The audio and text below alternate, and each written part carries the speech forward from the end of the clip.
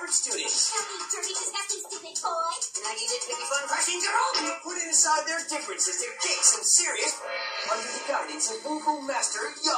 Remember what the Woo Foo Scrolls say. I don't care. Together they seek answers to the eternal questions. Why do you smell like nachos and beaten up moose? Super mega action, mind bending powers, oh, mysterious martial arts, and